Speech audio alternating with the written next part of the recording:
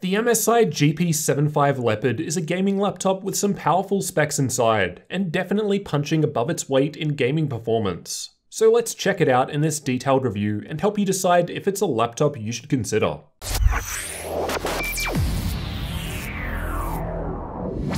I've got the 9SF model, so we've got an Intel i7-9750H CPU, Nvidia RTX 2070 graphics, no Max-Q here, and 16GB of memory running in dual channel. For storage, there's a 1TB NVMe M.2 SSD and a 17.3-inch 1080p 144Hz IPS level screen. For network connectivity, it's got gigabit Ethernet, 802.11 AC Wi-Fi, and Bluetooth 5. There are a few different configurations available though. You can find examples and updated prices linked in the description. The lid of the laptop is a matte black, while the interior is this sort of silver plastic, which I liked over MSI's usual all black colour scheme.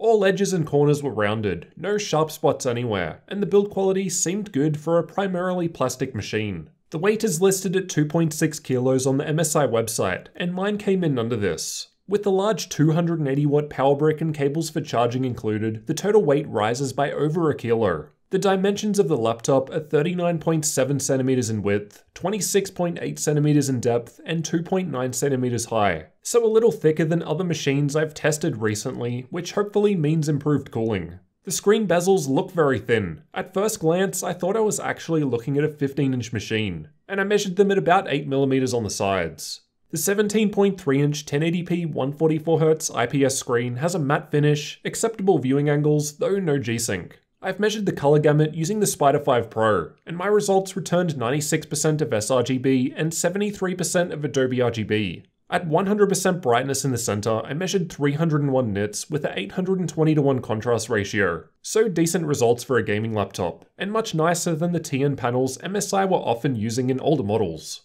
Backlight bleed wasn't ideal. The patches down the bottom left and right corners were occasionally noticeable while viewing darker content, but this will vary between laptop and panel. There was a bit of screen flex. Honestly, not bad considering that the lid is on the thinner side. The hinges being out towards the corners help with stability and they felt quite sturdy. It wasn't possible to open it up with one finger, demonstrating more weight is distributed towards the back, as both the heat pipes and battery are found there, though no issue sitting it on my lap. Despite the top screen bezel being on the thinner side, MSI was still able to fit the camera and microphone here, the camera looks pretty average, and the audio sounds decent. The keyboard has per key RGB lighting, which even lights up secondary functions on all keys. I've said it before, but I think MSI have one of the nicest looking RGB keyboards. It will of course come down to personal preference, but the lighting is bright and can be seen on the edges of the keys. The keyboard worked well and I liked typing with it. Here's how it sounds to give you an idea of what to expect.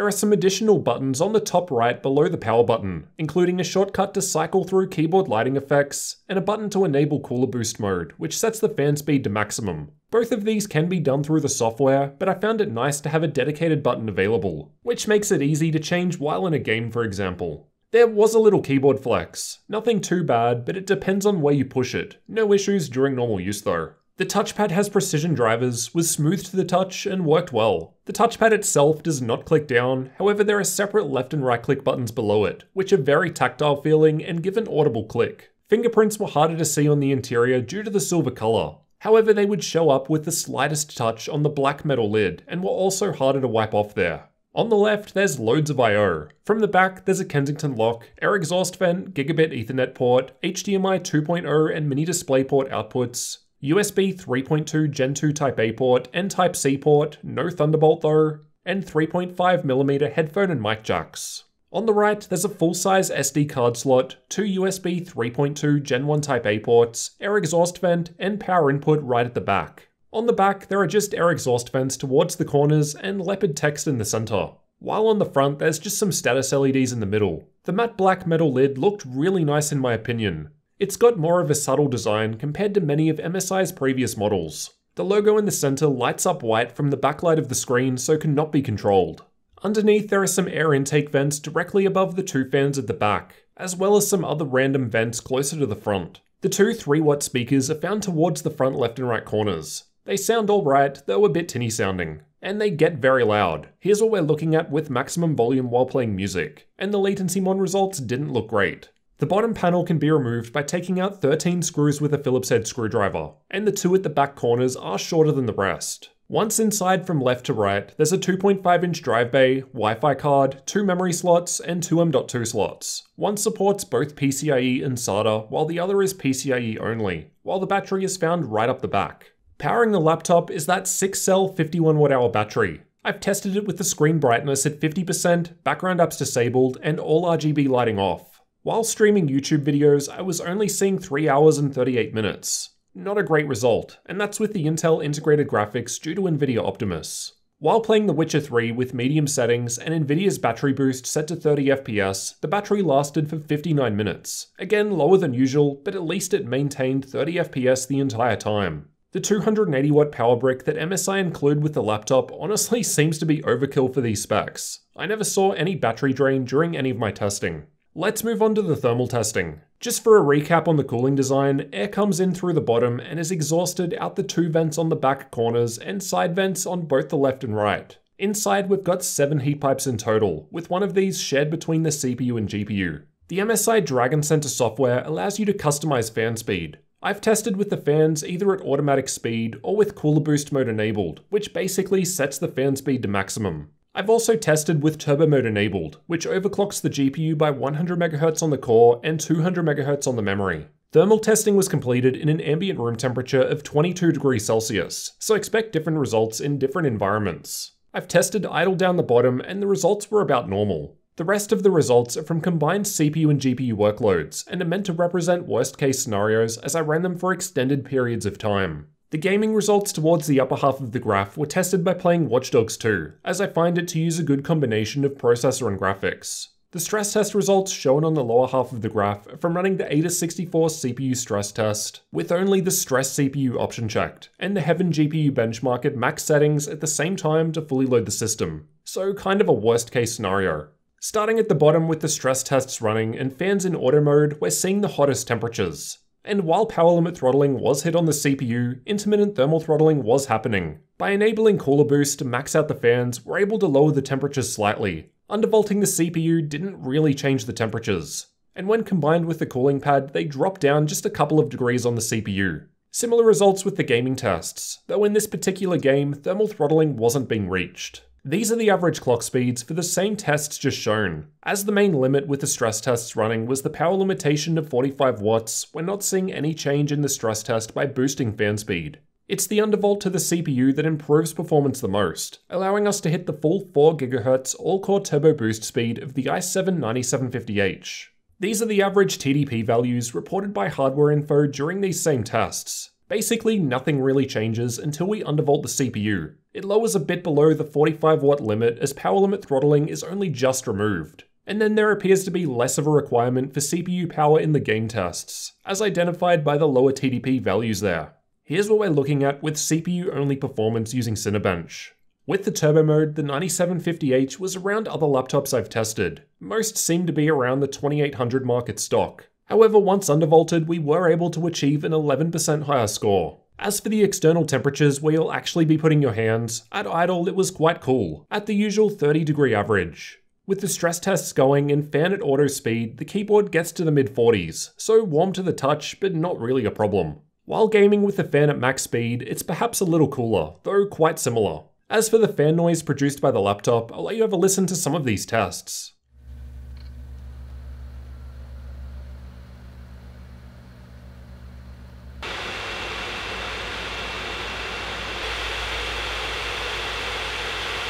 At idle, the fans were usually silent, however it would ramp up just slightly at times. With the stress test running and fans on automatic, the noise level is fairly average compared to many other gaming laptops I've tested, while the fan set to maximum with cooler boost mode is a bit louder. Overall, the GP75 with these specs is running on the warmer side in these tests. However, as we're about to see, this is probably fair considering the high levels of performance the specs are able to provide us. Next, let's take a look at some gaming benchmarks. I've tested with turbo mode enabled, which does overclock the graphics, and with cooler boost mode enabled, so maximum fan speed. The Division 2 was tested using the built-in benchmark, and this game is a recent addition for me. From what I've seen so far, Ultra settings always seems to have much lower 1% low results compared to average FPS. Despite this, the averages at Ultra and High were noticeably better over the other lower powered machines tested in this game. Battlefield 5 was tested in campaign mode, and the results here were very good, as we'll see later when we compare against some other laptops. Even RTX was playing okay at higher settings, just below a 60 FPS average with high settings. Though if you want best performance with decent looks, leaving RTX off and just using Ultra is the way to go. Apex Legends was tested with either all settings at maximum or all settings at the lowest possible values, as it doesn't have predefined setting presets. It was playing very well. I seem to test in a more demanding area, because even lower spec machines will hit the 144 FPS cap at times in different areas. So these are great results where I test. Shadow of the Tomb Raider was tested with a built-in benchmark, and the results here are again quite good though a bit lower at lower settings compared to even lower spec machines, which seems to indicate possibly lower CPU power in games while the powerful GPU holds it up at higher settings. Far Cry New Dawn was tested with the built-in benchmark. This game seems to be fairly CPU heavy, and while we're not seeing much higher results compared to other lower spec laptops, the extra GPU power does help more at higher settings. Fortnite was tested with the replay feature, and at max settings it was working extremely well, easily surpassing 100 FPS for the 1% low at max settings in my test. Absolutely no issues at all in this less demanding game. Overwatch is another well-optimized game and was tested in the practice range. Again, extremely nice frame rates for a laptop are being seen here, with almost 200 FPS at max settings, while low was reaching the 300 frame cap. CSGO was tested using the Ulletical FPS benchmark, and again pretty good results, above average over most other laptops given the specs, though not really by much considering how much extra GPU power there is, as this is more of a CPU driven test. Rainbow Six Siege was tested with the built-in benchmark, even with maximum ultra settings, we're getting well above 100 FPS for the 1% low on a 100% render scale, so great performance once more. Assassin's Creed Odyssey was tested with the built-in benchmark, and as a CPU-heavy test, the results at lower settings aren't too different from many other machines. However, the extra GPU power does put it in front at higher levels. Dota 2 was tested playing in the middle lane with an average amount of action going on, and was playing quite well even with ultra settings with very high frame rates and no issues that I could notice. Watch Dogs 2 uses a lot of resources, though the results were still pretty good here. With above 60 FPS averages at ultra settings, it was playing perfectly fine maxed out. The Witcher 3 was also playing well at ultra settings, and I found this one to work favourably with more GPU power, which was also the case here. Even ultra settings was running above 100 FPS and playing great. If you're after more gaming benchmarks, check the card in the top right corner where I've tested 20 games in total. Let's also take a look at how this config of the MSI GP75 compares with other laptops to see how it stacks up. Use these results as a rough guide only, as they were tested at different times with different drivers. In Battlefield 5, I've got the GP75 highlighted in red near similarly spec'd machines. It's performing quite well in this game, actually coming out in first place in terms of average FPS out of these specific laptops shown. So basically beating 2080 Max-Q machines with G-Sync. The 1% low isn't quite as impressive, though it's still up there. These are the results from Far Cry 5 with ultra settings and the built-in benchmark. Again, we're seeing great results here, with the GP75 coming in at third place. It's behind the Razer Blade Pro 17 with Max-Q 2070, but keep in mind it's running with a much higher than normal power limit for the GPU, is also overclocked, but also has the CPU undervolted by default. Otherwise, the 1% low was in second place out of all machines, and still outperforming MSI's GS75 with 2080 Max-Q. These are the results from Shadow of the Tomb Raider with the built-in benchmark at highest settings. Once more, very good results here, with the GP75 clearly ahead of the other two 2070 machines I've tested below it, the Asus Scar 3 and Aorus 15. This time it's performing equally to the Blade Pro, but not quite able to keep up with the 2080 Max-Q machines. Overall, the GP75 is performing very well here. The full RTX 2070 is performing a fair bit better than the other two 2070 laptops I've tested, and the only difference I can really pinpoint is that MSI are overclocking the GPU with turbo mode, which is clearly helping.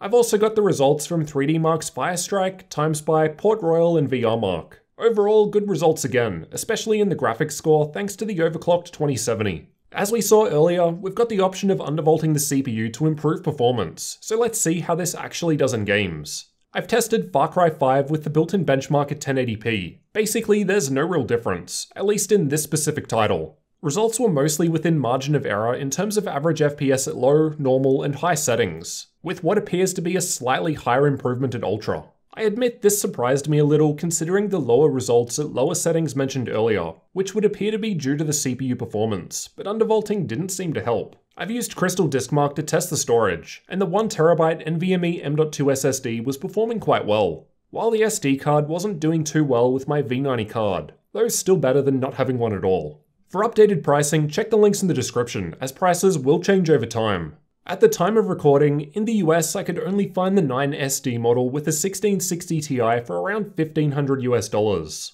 I'm not too sure of the specs available around the world, however this model is available here in Australia for 4000 Australian dollars. For my international viewers, once you remove our tax and convert the currency, that's around 2500 US dollars. However, tech in general does cost more here compared to the US, which has not been factored in, so it would be less than this rough guess. With all of that information in mind, let's review the good and bad aspects of this machine. Overall, I personally like the design. The metal lid and silver interior are more subtle compared to previous MSI designs, though the plastic interior did flex while pushing it in some areas, though this wasn't a problem practically. The thin screen bezel was great. At first I honestly thought I was looking at a 15 inch machine, as it's smaller than many 17 inch models I've used, though the backlight bleed in my unit was unfortunate, however that will always vary between units. The battery life was quite poor compared to many other machines I've tested, and it can run on the warmer side while under high levels of load. This seems to be due to the high-end specs we've got inside though, so we are able to get very high levels of performance in games out of the RTX 2070.